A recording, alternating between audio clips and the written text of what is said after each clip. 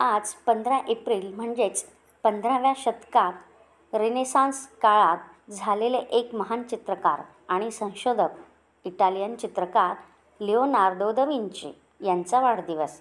त्यांच्याच स्मरणार्थ दोन हजार बारामध्ये युनेस्कोच्या जनरल कॉन्फरन्सने पंधरा एप्रिल हा दिवस जागतिक कला दिन म्हणून घोषित केला. दरवर्षी या दिवशी कलेचा विकास आणि आनंद घेण्यासाठी कलाप्रेमींना प्रोत्साहन देण्यासाठी हा दिवस साजरा केला जातो. कला जगभरातील व्यक्तींसाठी सर्जनशीलता नवकल्पना आणि सांस्कृतिक विविधतेला प्रोत्साहन देते. कलेच्या माध्यमातून माहितीची देवाणघेवाण कुतूहल आणि चर्चेत ती महत्त्वाची भूमिका बजावते. म्हणूनच प्रत्येक कलाप्रेमींचा आपण आदर केला पाहिजे.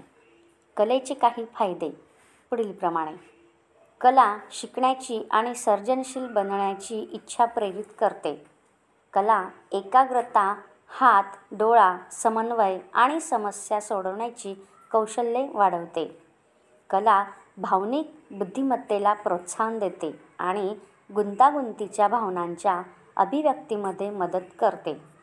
कला वांशिक कला वांशिक रूढी आणि धार्मिक अडथळे तोडून समुदाय स्थापन करण्यास मदत करते. कला आत्मसन्मान वाढवते तुम्हाला प्रेरित करते आणि तुमचे एकूण आरोग्य सुधारते. कला इंद्रियांना उत्तेजित करते आणि नवीन मार्गांनी गोष्टी पाहण्याची परवानगी देते.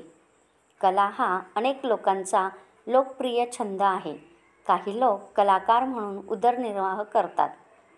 जागतिक कला दिन दोन हजार चोवीसची थीम आहे अभिव्यक्तीचे बाग कलेद्वारे समुदाय जोपासणे. जागतिक कला दिनाची थीम दरवर्षी बदलते. कला समाजावर आणि आपल्या वैयक्तिक जीवनावर कसा प्रभाव पाडते याच्या विविध पैलूंवर लक्ष केंद्रित करते.